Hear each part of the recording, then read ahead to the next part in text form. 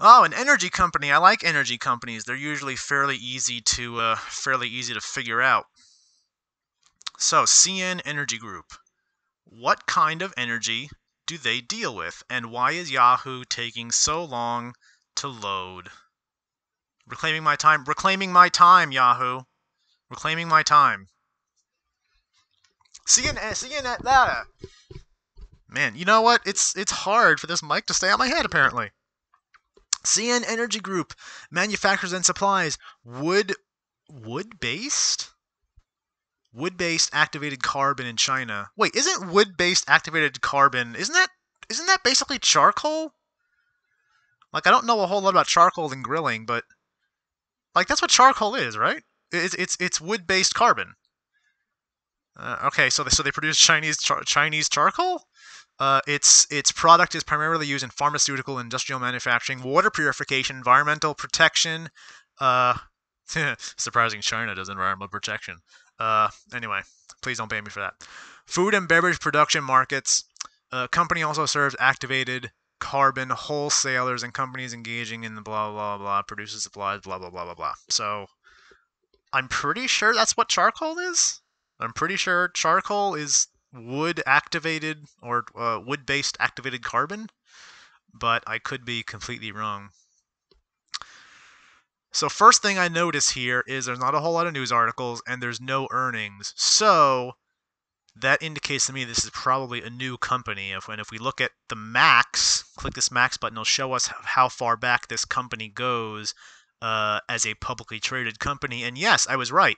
Looks like it's only been trading for less than a month uh, IPO'd apparently on February 5th. So I'm probably not going to have a whole lot to go off of here, but still, this is a speed run. We're going to make the best attempt here.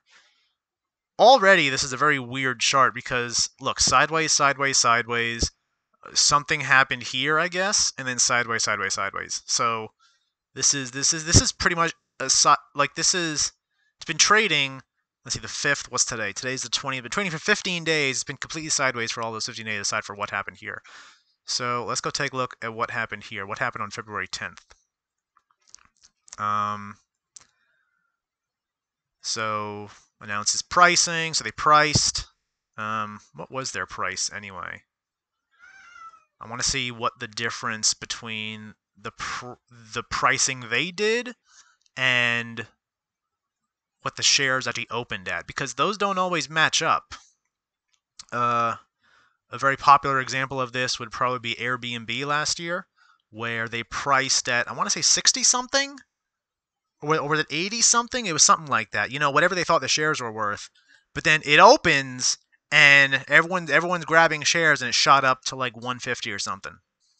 So and, and and for and for the little people, the retail traders, that opening price that they list really doesn't mean jack because you have zero chance of getting in at that price anyway. Uh, but it's still an interesting metric of the difference between how much the market thinks something is worth versus how much the company itself thinks something is worth. So let's go take a look in here.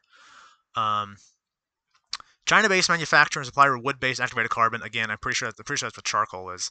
Um, today announced pricing of its initial public, public offering, 5 million shares at $4.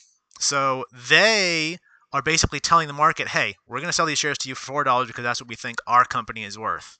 Uh, $4 times 5 million would give them a valuation of, that's 20 million, right? Um, yes. Well, the market cap here says 107, so there must have been other shares outstanding, maybe held by insiders or whatnot. But that's but that's but that's what they at least offered to the public. But looking here, it actually opened trading at 511. Let's see if I go if I look at this full screen chart. If I click on this to go to the full screen chart, it actually opened on. Let's go Let's go to max. What the hell? No, this doesn't help me. Oh, it didn't go to the start. Oh, John, Yahoo, what? Oh.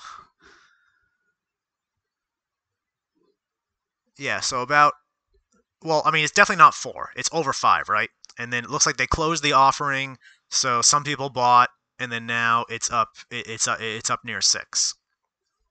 So that's kind of again kind of a bit of a hard pick here um, because I don't have a whole lot of information to go off of. And it's and it's very strange that it that it goes sideways, very steadily sideways. Which concerns me a bit because it makes me want to say it's not a buy because I don't see I don't see any good news on the horizon. Again, I don't have much to go off of, but I don't see any good news on good news on the horizon. But then again, you know, there's there's, there's no bad news. So this one this one's kind of difficulty, and I'm gonna and I'm gonna have to go with I'm gonna have to go with a hold here. Hold for CNEY.